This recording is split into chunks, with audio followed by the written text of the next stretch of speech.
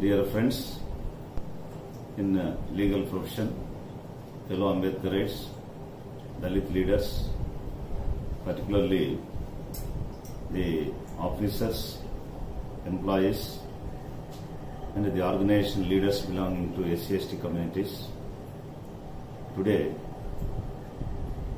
I am here before you to speak on the subject the recent Supreme Court judgments on SCST reservations and their impact and the implications for the future SCST employees, students, and future generation. On 22 4 2020, the Supreme Court five judge constitution bench quashed GOMS number 2000, number 3 of 2000 of the erstwhile state of Andhra Pradesh issued by governor providing 100% reservations to the scheduled tribes in the respect of appointment to the posts of the teachers in scheduled areas exercising power under paragraph 5 of schedule 5 of the Indian constitution holding that it is unconstitutional unfair irrational arbitrary and it violates the rights guaranteed under part 3 of the constitution. By civil appeal number 3609 of 2002 and 7040 of 2002 in Chebrolu Leela Prasad Rao and others versus State of Andhra Pradesh. Earlier to this, on 7 to 2020, a two-judge Constitution bench of Honorable Apex Court has set aside the judgment of the High Court of State of Uttarakhand in respect of providing reservations in promotions for scheduled castes and scheduled tribes, while its judgment in civil appeal number 1226 of 2020 and batch in Mukesh Kumar and another versus the state of Uttarakhand. In this case, the state government issued proceedings dated 5-9-2012 to, to the effect that all the posts in public services in the state shall be filled up without providing any reservations to the scheduled castes and scheduled tribes by overruling and superseding all other government orders contrary to these proceedings. The High Court, by its judgment dated 1-4-2019, struck down the proceedings dated 5-9-2012, holding that it is contrary to the law declared by the Honorable Apex Court in Indira Sawhney versus Union of India and Jarnail Singh and others versus Lakshmanarayana Gupta and others, etc.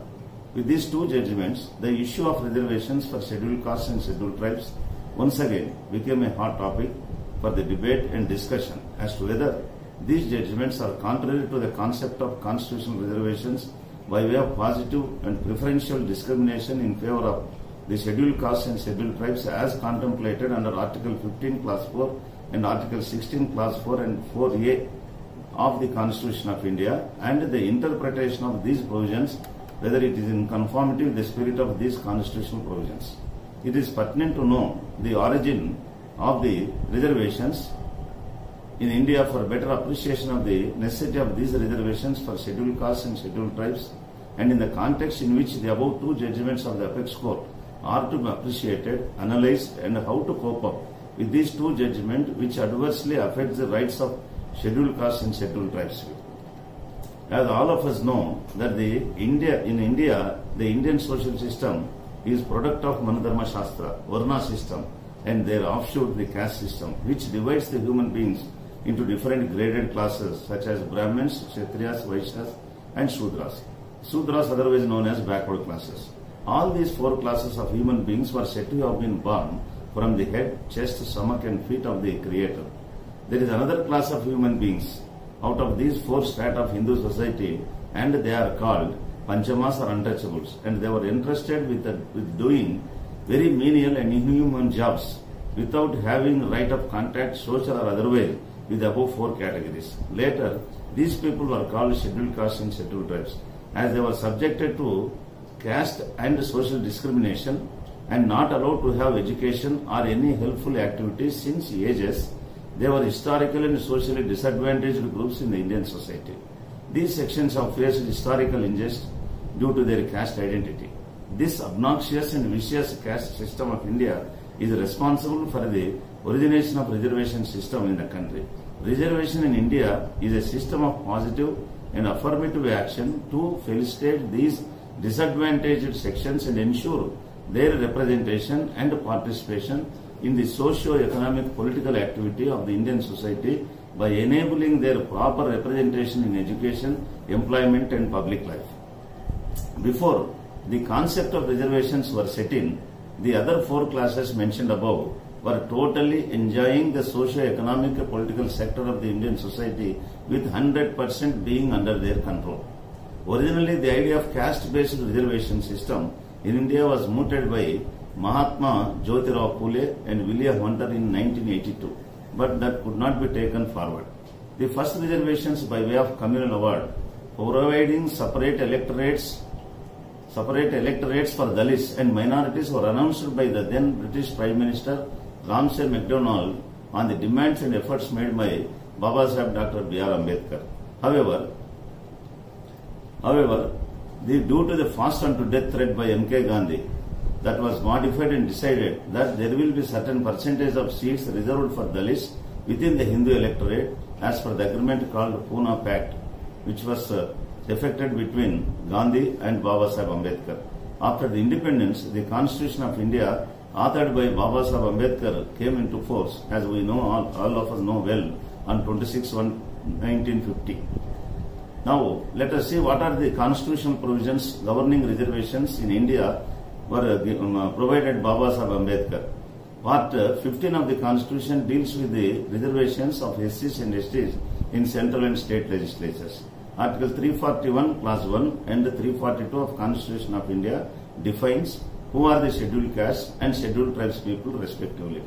Article 15 subclause 4 of the Constitution and Article 16.4 of the Constitution enables the central and state governments to provide reservations in government services for SCs and STs.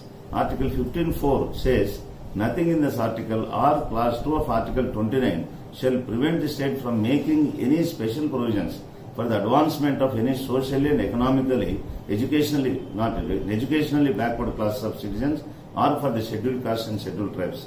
Article 16.4 says, nothing in this article shall prevent the state from making any provision for reservations of appointments or posts in favor of any backward class of citizens which in the opinion of the state is not adequately represented during the services under the state.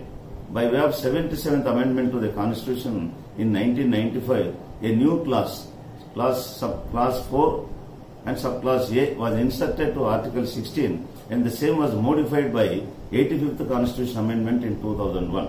Article 14A says nothing in this article shall prevent the state from making any provisions on reservations in matters of promotion with consequential seniority to any class or classes of the posts in the services under the states in favor of SCs and STs which in the opinion of the state are not adequately represented in the services under the state. 81st Amendment to the Constitution inserted Article 16.4b which says nothing in this article shall prevent the state from considering any unfilled vacancies of a year which are reserved for being filled up in the in that year in accordance with the provisions for reservations made under Class 4 or Class 4a as a separate class of vacancies to be filled up in any succeeding year or years and such classes of vacancies shall not be considered together with the vacancies of the year in which they are being filled up for determining the ceiling of 50% reservation on total number of vacancies of that year. Article 330 and 332 of the Constitution provides specific representation through reservation of seats in the Parliament and in the state legislative assemblies respectively, while Article 3, 243D provides reservation of seats in panchayats and Article 243T provides reservations of seats in every municipality. Article 335 of the Constitution says that the claims of SCs and STs shall be taken into consideration cons- consistently with the maintenance of efficacy of the administration. Now, the OBC reservations. When OBC reservations came into existence, basing on the Mandal Commission report, which was constituted in December 1978 by the President of India, exercising powers under Article under Article 340 of the Constitution, 27% of the jobs were reserved for other backward classes, OBCs, basing on the 11 indicators of social, educational and economic backwardness developed by the Mandal Commission. The Honorable Supreme Court of India in Indira Sawhney case of 1992 while upholding this 27% quota for OBCs struck down the government notification reserving 10% of government jobs for EBCs among higher caste. The court also ruled that the combined reservation benefit should not exceed 50%. Reservation for upper caste. After BJP government or Modi government returned to power in the year 19, uh, 2019, the constitution was further amended which is called 103rd Amendment Act of 2019. It was to provide 10% additional reservation in government jobs or all educational institutions for the economically weaker sections among high caste or open category candidates or unreserved category candidates. This is the history of reservation, in brief, the reservations in India. Now, what are the judicial precedents on reservations and particularly affecting the SC STs? The first major case on reservations came up before the Supreme Court in the state of Madras versus Sri, Srimati Champakam Dorai in the year 1951. In this case, the Supreme Court held that Article 15.4 provides for reservations in favor of backward class of citizens and no such provision was made in Article 15. In pursuance of the Supreme Court judgment, Article 15 of the Constitution was amended by the Parliament by inserting Clause 4 to Article 15. Another major case in which the Supreme Court examined the scope and extent of the Article 16.4 was Indira Sawhney versus Union of India 1992 by which the apex court held that total reserved quota should not exceed 50% and the creamy layer of OBC should be excluded from the list of beneficiaries of reservations and there should not be reservations in promotions. It should be noted, by the time of this judgment, basing on the Mandal Commission report, OBCs were given 27% reservation in government jobs. The 77 constitutional amendment was made introducing Article 16.4a to overcome this judgment and enabling the states to reserve seats in favor of SCs and STs in promotions in public services if they are not adequately represented in the public employment.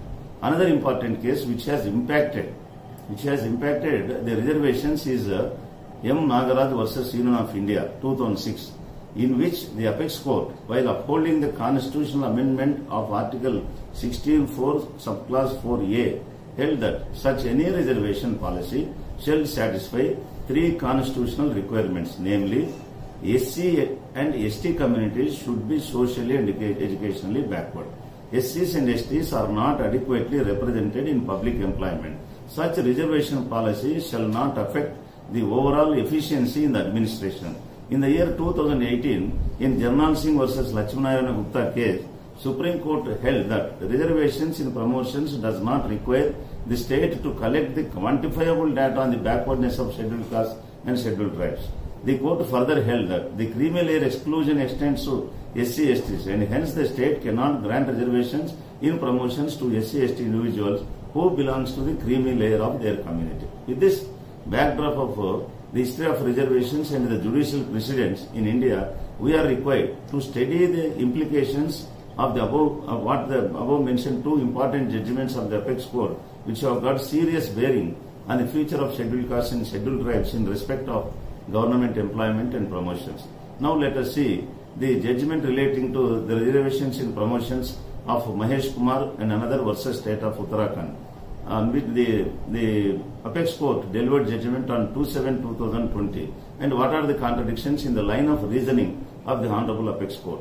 The context of the case was that on 5-9-2012, the government of Uttarakhand decided to fill up the posts in the state public services without providing reservations to the scheduled castes and scheduled tribes, superseding all the other government orders on reservations issue. The same was challenged by Mr. Gyanchand, Assistant Commissioner, Sales Tax, who belongs to scheduled caste. The High Court, by its judgment dated 1-4-2019, struck down the government proceedings dated 5-9-2012 as being contrary to the law declared by the Apex Court in Apex Court Apex Court in uh, Indira Sawhney versus Union of India and others, and in Jarnail Singh and others versus Lakshmanarayana Gupta and others. On the review petition filed to review the judgment dated 2-4-2019, the High Court of Uttarakhand clarified that the state government is obliged to collect quantifiable data regarding the inadequacy of the representation of SCs and STs in the state services, the providing reservations and reservations and promotions and directed the state government to collect quantifiable data regarding the inadequacy of the representation of scheduled castes and scheduled tribes in government services, which would enable the state government to take a considered decision whether to provide reservations or not in government services. Further, this, the state government directed to take decision relating to the adequacy or inadequacy of representation of SCs and STs in the services of the state within the period of four months from the date of receipt of the judgment. The appellants who have filed appeal before the Supreme Court contended that the judgment of the High Court is wrong as there is no constitutional duty on the part of the state government to provide reservations. Therefore, once the government has taken decision not provide reservations, that cannot be challenged and the collection of quantifiable data was a precursor to provide reservations. It followed ipso facto that there is no necessity for collection of any quantifiable data after the government has taken decision not to provide reservations.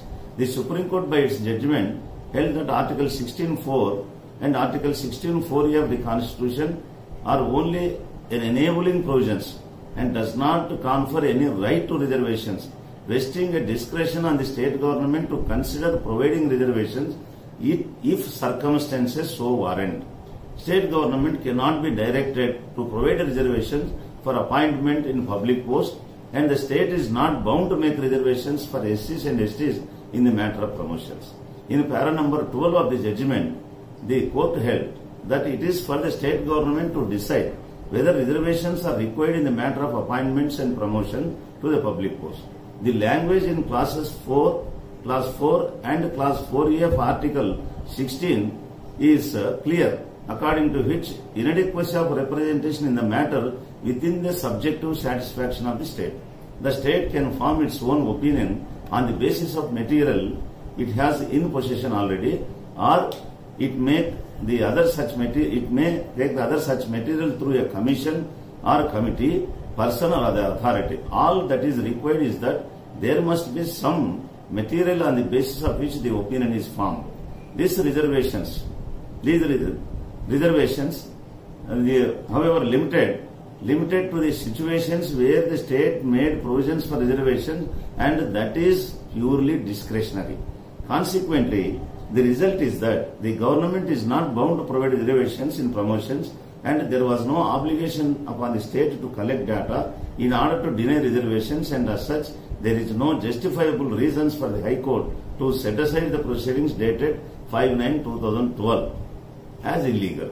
This is the sum and substance of the judgment of the apex. In my humble opinion, there are two important issues which should have been dealt with positively and what I call that uh, the important uh, defects in the line of the reasoning in the judgment. The number one is the scheme of Article 16.1 of the Constitution is that there shall be equal opportunity for all citizens in matters relating to the employment or appointment to any office of the state. The Apex Court description of Article 16.4 as a purely enabling provision and its conclusion from that inadequacy of representation is a matter within the subjective satisfaction of the state is at odds with the spirit of Article 16 as interpreted by the Honorable Court from time to time. Earlier, the Supreme Court position was that Article 16.4 was an exception to the guarantees of equality of opportunity set out in Article 16.1. In other words, Article 16.4 carved out a space for not adequately represented sections where the normal principles of equality of opportunity would not apply. Of course, it was the discretion of the state to choose to avail the exception and provide for reservations. But after N.M. Thomas judgment, the position of law was changed. It was held that Article 16.4 is not an exception to Article 16.1, but a facet of the said Article 16.1, and this changed interpretation flowed from the evolution of understanding of the Supreme Court of Article, Articles 14, 15, and 16 of the Constitution, and it was held that Equality Code mentioned in the said articles was not about a bare formal equality, but about substantive equality. That means the equality that look that took into account the existing social and structural disadvantages and required the state to remedy them. And this line of understanding has not been seriously questioned by anyone. Consequently, the Article 16.4 is a facet of Article 16.1. Then it is necessarily follows that Article 16.1 guarantees a right to substantial equality of opportunity and Article 16.4 is an emphatic restatement of that right. Thus, while it is correct to say that there is no right to reservations in Article 16.4 is indeed is enabling provision, but there is a right to substantive equality. This in turn means that if the status quo involves formally, formally equal treatment of individuals in substantially unequal circumstances, when it comes to appointments or promotions in public services, Article 16.1 is breached. That is why Uttar, the Uttarakhand High Court did not direct the government to provide reservations, but directed the government to collect the data on inadequacy of representation so that the decision to be taken how to remedy the existing substantial inequalities. Thus, to my understanding, Article 16 of the Constitution places a power and plus power plus duty upon the government. If we go by this reasoning, the judgment of the Honorable Apex Court appears to be not in conformity with the spirit of Article 16 of the Constitution. It is in my, my humble opinion. Then coming to the another judgment affecting the ST's 100% reservation in Chebrolu Leela Prasadarao versus State of Andhra Pradesh and which was the judgment delivered on 22nd April 2020. There are certain glaring inconsistencies in the judgment in my opinion. These uh, the petitions were filed challenging the constitutional validity of the validity of the erstwhile combined AP government GO MS number 3 dated 10th January 2000 issued by Governor of AP exercising powers under Section 5.1 of the Schedule 5 of the Constitution of India providing 100% reservations to the scheduled tribe candidates for the post of teachers in the scheduled areas of the state of AP. The Apex Court quashed the said uh, GO, quashed the said GO by its judgment uh, dated 22nd April 2020, declaring it illegal, arbitrary, irrational, and unconstitutional. The Honorable Apex Court, in fact, stretched the issue beyond the question in issue pertaining to the validity of 100% reservations for scheduled tribes in the scheduled areas and went on to discuss the whole gamut of reservations by making observations which will have far-reaching consequences in the future. The present discussion is only on the observations made by the Apex Court on the very nature of the affirmative action and the method, method adopted by the court in examining the GO in question. As we know well, and as held by the Supreme Court, that the reservation should not exceed 50%. But a little relaxation is permissible with great care. Reservation is an exception to the general rule, and the quantum of reservation should not should not the quantum of reservations should not be excessive and societally injurious. In this honorable court, by deciding whether impugned GO or notification is a mode of classifications under Article 16.1 or is merely a tool to provide reservations to a certain identified classes as per Article 16.4 of the Constitution held that Article 14, 16.1 and Article 16.4 are all facets of Article 16.1 but made the contradictory observations in the judgment. For the Honorable Court, the reservation of seats is an exception to the general rule of equality.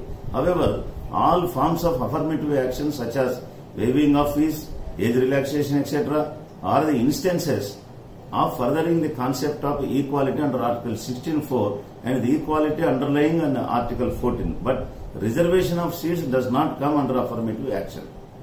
While reiterating the flexibility given to the state to breach the 50% reservation limit set by Indira Sawhney case in exceptional situations, but in this case held such reservations to the scheduled tribes in scheduled areas is in violation of equality as a norm and 100% reservation would amount to unreasonable and unfair and cannot be termed except as unfair and unreasonable.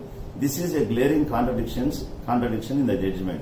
While discussing the affirmative action under Article 16.1 and Article 16.4, using reservation as a facet of equality principle, If that is the case, the 100% reservation to STs is not a threat to equality principle. The Honorable Court held such 100% reservation is antithetical to the idea of equality. But the reasons uh, given for this position are not satisfactory. Honorable Justice Mishra held that by reserving all seats for STs, not only the people belonging to open category are affected, but even SCs, OBCs, and even those STs who settled in the area after the 26th January 1950 are also adversely affected. While holding the reservations in exception to the general rule, holding the idea of the 100% reservations for STs as unreasonable and irrational is certainly not coinciding but contradicting each other. The other shortcoming or the contradictions in the judgment is that the court, while holding the action providing 100% reservations to the STs is nothing but irrational, unfair, unreasonable, arbitrary and unconstitutional and violates their a right guaranteed under Part 3 of the Constitution but did not make any distinction between these terms when used them interchangeably at various points but failed to provide valid reasons for why the GO is either only arbitrary or unreasonable or irrational or constitutionally invalid. Thus the discussion in this case shows that the court used different tests without determining which one of them was actually attracted to the case in question. It might be a case that action of conferring 100% reservation to the STs in uh, scheduled areas could be unreasonable or irrational, but because it does not leave any scope for catering to the demands of other sections. But it will be wrong to term it uh, as arbitrary because the class of people who are conferred with this reservation, that is scheduled caste, belong to a category already protected within the scope of Article 16.4 of the Constitution. It does not provide the benefit to the socially and economically affluent communities which, communities which are not even distantly envisaged by Article 16.4 of the Constitution. The other observation made by the Apex Court in this case, which is not connect to the, connected to the point in issue, but has a potential of impacting the future questions, is that the reservations were made for a period of 10 years to wipe out social disparities, economic and backwardness. But reservations are extended and there was no review of the list, nor the provisions of reservations have come to an end. This is mentioned in para number 106 of the judgment. And there is a cry within the reserved classes, that is SCs and STs for revision of the list as the affluent and socially economically advanced advanced sections in the process within the SCs and STs are depriving the other sections among them of the benefits of reservations and even advised the government to undertake the revision of the SCs and STs list for such purpose as mentioned in para number 153 of the judgment. In this regard, it is pertinent to note that the reservations are constitutional safeguards for SCs and STs flows from the Article 15.4 of the Constitution which empowers the state from making any special provision for advancement of social and educationally SCs and STs. The criteria of economic backwardness was not mentioned in Article 15 of the Constitution. The Article 15 clause 4 and 5 are to achieve the object of Article 17 of the Constitution as SCs and STs who are subjected to social and caste discrimination as untouchables for ages. The Apex Court in several rulings in fact reiterated that the stigma of untouchability and social discrimination is still haunting them and prevailing irrespective of the economic, economic progress of these communities. Under the circumstances stated above, it is imperative for all the enlightened SCs and STs to discuss the above two judgments thoroughly to realize what is the impact of these judgments on the present and future generations. Constitutional safeguards in the form of reservations and Article 15 and 16 are fundamental rights given to the realization of the object and implementation of the Article 17 of the Constitution for SCs and STs. It is necessary to review these two judgments which cut the root of the spirit of reservations and their object. Otherwise, there is every possibility of doing away the reservations, doing away with the reservations on the basis of these judgment, judgments and the, that the provisions are only enabling provisions and the state may not provide reservations in appointments or promotion, in which case the future of SCs and STs communities will be doomed or will be in danger. The central or state governments may not be interested in filing review petitions unless it becomes a highly explosive, potential and political political and public issue. Therefore, it is the bounden duty of all SCs and ST communities, particularly the educated and employed class, officers class, to belonging to SCs and STs to take up the issue in the right earnest and make it a national issue as was done in the case of dilution of SC ST POA Act in 2018 and also file as many review petitions as possible from all corners of the country before the Honorable Supreme Court without any delay and get back the reservations as a right, fundamental right guaranteed by the Constitution of India. So I hope that all the like-minded and all the people who are affected with these reservations will come together and take a concerted action to protect our rights guaranteed under the Constitution of India drafted by Baba Sahib Ambedkar who has uh, spent his whole life for the upliftment of uh, the downtrodden communities and also has given a has given a, uh, a developmental a, a developmental outlook to the outlook to the modern India by giving a, a constitution which does not have any comparison in the world. Thank you. Jai Bhim, Jai Bharat.